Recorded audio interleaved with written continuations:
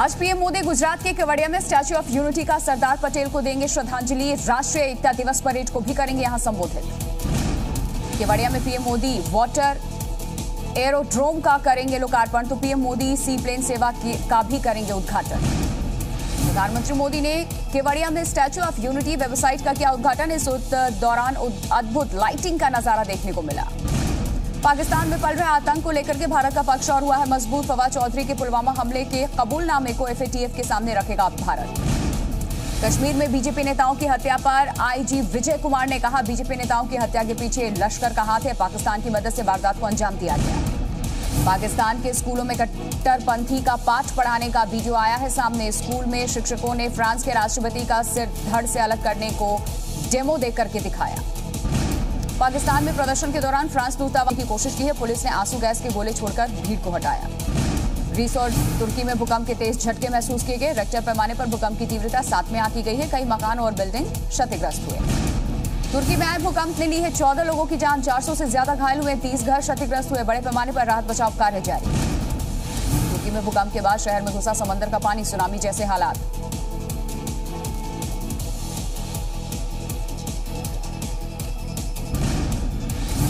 Greece का समुद्र भी भूकंप के जोरदार झटके से काँप गया। भूकंप के कारण इमारत क्षतिग्रस्त होने से दो लोगों की यहाँ मौत हुई।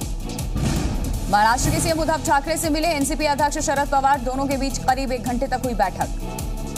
प्याज की बढ़ती कीमत और बाढ़ पीड़ितों की मदद को लेकर के हुई बातचीत। एनसीपी के कोटे से बारह प्रत्याशियों को विधान परिषद भेजने पर भी चर्चा। ट्विटर पर उद्धव ठाकरे और आदित्य ठाकरे पर आपत्तिजनक कमेंट करने वालों की हिरासत बढ़ी है। समीर ठक्कर को 2 नवंबर तक पुलिस हिरासत में भेजा गया। BJP MLA Atul. CM Uddhav Thackeray को इन्होंने खत लिखा, रजा एकेडमी पर पाबंदी लगाने की इन्होंने खत के द्वारा मांग की। मुंबई के घाट घाटकोपर स्टेशन पर आरपीएफ के जवानों ने एक महिला की जान बचाई है, चलती ट्रेन में चढ़ने की कोशिश में प्लेटफॉर्म पर गिरी थी महिला। पुणे एयरपोर्ट पर कस्टम अधिकारियों ने दुबई से आए एक यात्री को करीब एक सौ बावन ग्राम सोने के साथ पकड़ा है। सोने की कीमत सात लाख नवासी हज़ार रुपए। महाराष्ट्र के अमरावती में पत्नी का भूत उतारने के लिए लाए गए कथित तांत्रिक और पति को पुलिस ने किया गिरफ़्तार। दोनों को पुलिस ने अंधविश्वास फैलाने के आरोप में पकड़ा। वकीलों को केजरीवाल सरकार का तोहफा, वकीलों को पाँच लाख का मेडिकल और दस लाख का टर्म लाइफ इंश्योरेंस देगी दिल्ली सरकार। दिल्ली में वायु प्रदूषण के बाद अब जल प्रदूषण की शिकायत, घरों में सप्लाई होने वाले यमुना के पानी में बढ़ा अमोनिया का मात्रा। दिवाली से पहले दिल्ली वालों के लिए अच्छी खबर है। अब डीटीसी और क्लस्टर बसों में सफ़र कर सकते हैं। 20 से ज़्यादा यात्री। जितनी सीटें, उतनी सवारी का फॉर्मूला लागू होगा।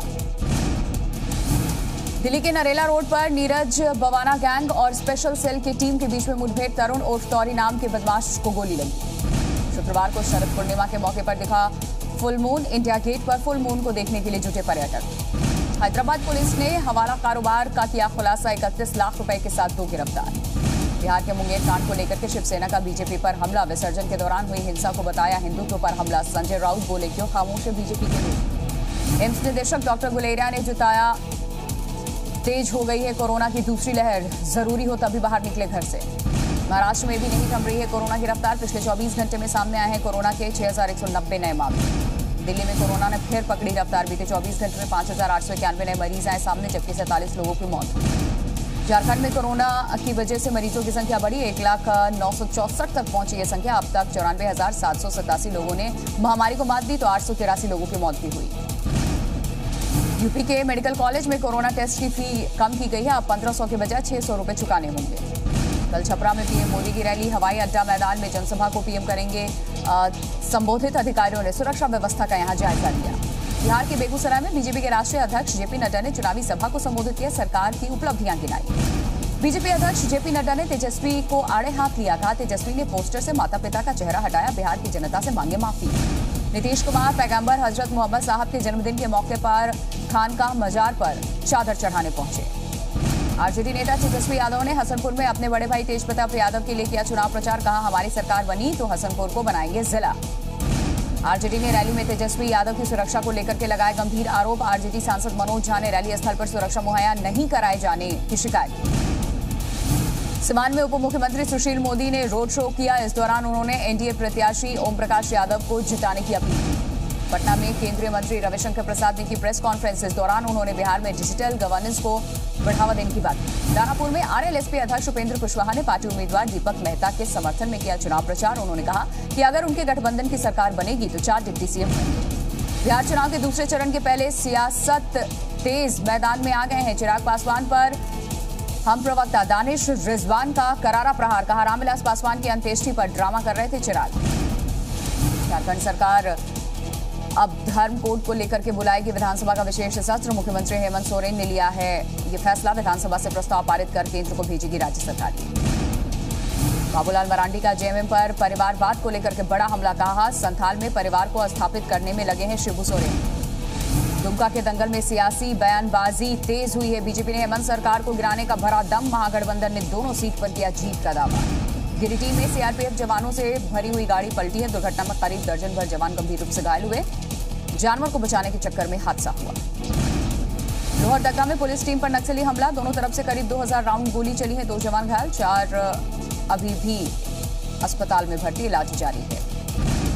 दिवाली के मौके पर सरकारी गाइडलाइंस के अनुसार होगी पटाखों की बिक्री अब लाइसेंस के ज़रिए दुकानदार एक से 16 नवंबर तक बेच सकेंगे पटाखे। गली मोहल्ले में नहीं बिकेंगे पटाखे।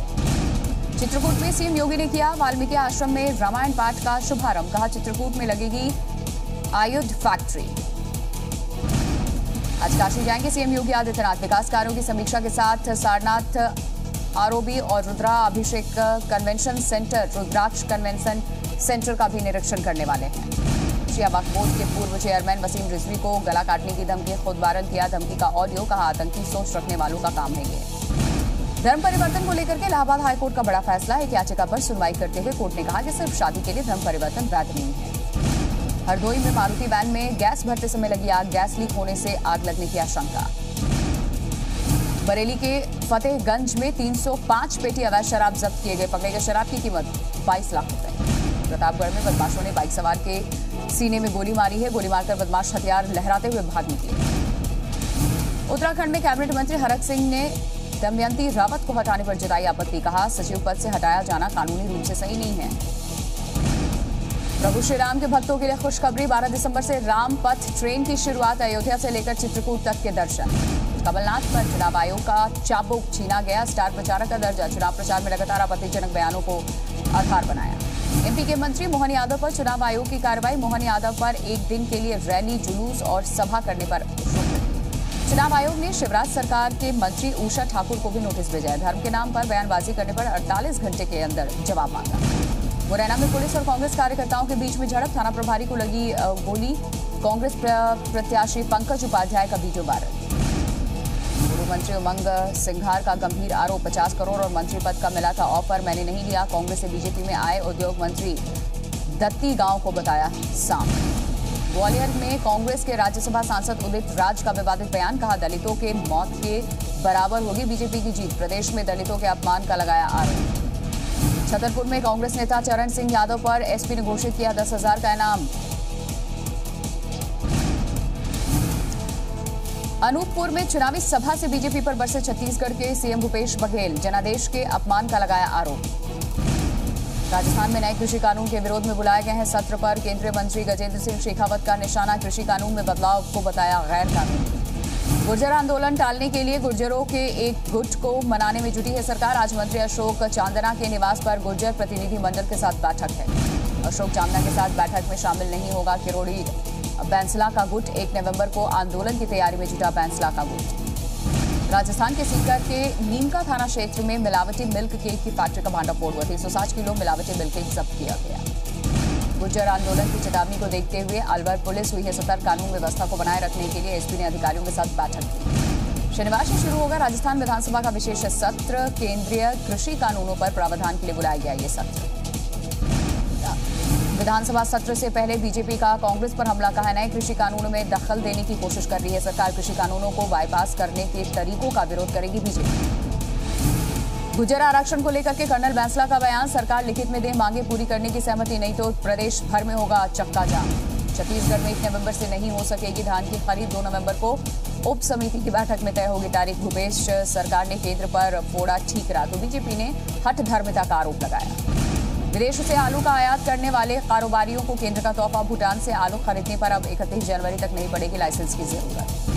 सितंबर तिमाही में आरआईएल को नौ करोड़ रुपए का मुनाफा हुआ है। जून तिमाही में कंपनी का प्रॉफिट 8,380 करोड़ रुपए आरआईएल के शेयर ने एक साल में निवेशकों को दिया है चवालीस प्रतिशत का रिटर्न मार्केट कैप भी छह दशमलव दो दो लाख करोड़ बढ़ा है। रॉयल एनफील्ड 350 लॉन्चिंग से पहले ही भारत में छाया है। कीमत एक लाख साठ हज़ार रुपए से लेकर के एक लाख अस्सी हज़ार रुपए तक। मैक्स लाइफ में 17 प्रतिशत हिस्सेदारी खरीदेगी एक्सिस बैंक। आरबीआई से डायरेक्ट खरीद की मंजूरी नहीं मिलने पर सहयोगी कंपनियों के साथ मिलकर के एक्सिस अब खरीदेगी one nation, one gold prize की मलाबार गोल्ड एंड डायमंड्स ने की है शुरुआत। पूरे देश में कंपनी के सभी स्टोर पर एक ही भाव में मिलेगा सोना। राजस्थान ने पंजाब को सात विकेट से हराया। प्ले ऑफ़ की रेस में राजस्थान की राह हुई आसान ऑस्ट्रेलिया दौरे पर एडिलेट में भारतीय टीम पहले डे नाइट टेस्ट मैच खेलेगी 17 दिसंबर से चार टेस्ट मैचों की सीरीज़ की शुरुआत। पाकिस्तान दौरे पर गई जिम्बाब्वे की टीम की पहली वनडे 26 रनों से हारी, दो सौ बयासी रन के लक्ष्य को पीछा करते हुए जिम्बाब्वे की टीम 255 रन पर आउट बबीता फोगाट की बहन रितु फोगाट ने जीता एमएमए चैंपियनशिप। कोरोना पर भारत को लेकर के वर्ल्ड इकोनॉमी फोरम के चीफ का बड़ा बयान, कहा, कोरोना के खिलाफ वैश्विक लड़ाई में भारत का जो किरदार है, अहम है। अमेरिकी अंतरिक्ष यात्री केट रोबिन ने स्पेस में डाला है वोट। अमेरिका में राष्ट्रपति चुनाव के लिए फ़िलहाल बैलेट वोट डाले जा रहे हैं। तीसरी तिमाही के शानदार नतीजों के बाद भी फेसबुक हुआ सतर्क, कहा साल 2021 में हो सकती है विद्या, कठिनाई, रहना होगा सावधान।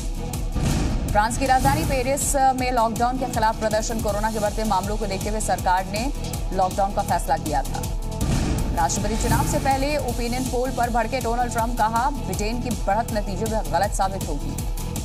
भारत में तेरह नवंबर को रिलीज़ होगी Hollywood film the war with grandpa. दादा और पोते के बीच में कुश्ती, comedy film. Producer Sajid Nadiadwala Heropanti दो बनाने की तैयारी में जुटे हैं। बंगला फ़िल्म ड्रैकुला सर का हिंदी वर्जन दिवाली पर रिलीज़ होने वाला है। Singham film fame actress Kajal Agarwal ने रचाई शादी। तस्वीरें वायरल। दंगल एक्ट्रेस फातिमा सना शेख ने तीन साल की उम्र में शोषण का किया खुलासा। स्टंट करने के लिए लोग तरह तरह के तरीके आजमाते हैं। तेज़ी से जाती हुई स्पीड बोट के ऊपर से देखे कैसे शख्स स्टंट कर रहा है। दुर्घटना के बाद खुद को कवर अप करना भी एक कला है और ये वीडियो कुछ ये दर्शाता है। इससे सीख लेने की ज़रूरत है। पीछे से कोई कब तक वार करता रहेगा और कब कर दे कोई नहीं जानता। घोड़े को पुचकार रही बच्ची को देख लीजिए आप। कैसे इस पर वार हुआ? जिम में जब भी एक्सरसाइज करने जाएँ, पूरी तरीके से अलर्ट होकर के जाएँ, जरा सी चूक आपको बड़ी चोट लगा सकती है। दुनिया में तरह तरह के लोग अलग अलग तरह की कार को पसंद करते हैं। टेलीफोन के आकार की कार भी शानदार छाई हुई है। समंदर में कलाबाजी नियॉन लाइटिंग के साथ देख सकते हैं आप किस तरीके से ये शख्स कर रहा है। पाइट ने बुके को तेज़ी से उछाला है, लेकिन दो लोगों ने इसे चलाकी से फूर्ति दिखाते हुए बड़ी आसानी से पकड़ भी लिया।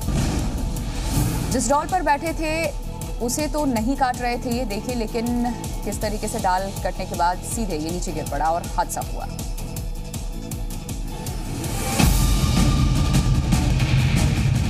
सफ़र में हो या घर पर, अब होगी हर खबर आपकी हथेली पर। ऐप स्टोर पर जाएँ और डाउनलोड करें जी हिंदुस्तान ऐप पाँच भाषाओं में चुनें अपनी पसंद की भाषा। जी हिंदुस्तान की लाइव टीवी पे कीजिए क्लिक और देश दुनिया की हर खबर पर रखिए 24 घंटे अपनी नज़र।